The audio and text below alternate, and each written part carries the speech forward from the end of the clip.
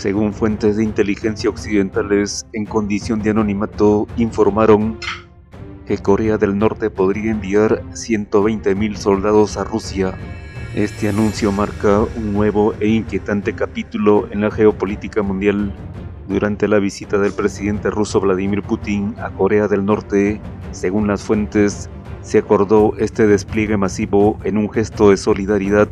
que podría alterar significativamente el equilibrio de poder en la región y más allá. Este movimiento se produce en un momento crítico con las tensiones y en escalada por la guerra en Ucrania y las relaciones cada vez más tensas entre Rusia y las fuerzas de la OTAN. Los generales de la OTAN y de las fuerzas ucranianas, según informes, han reaccionado con alarma ante este desarrollo lo que subraya el profundo impacto y las posibles consecuencias de esta alianza militar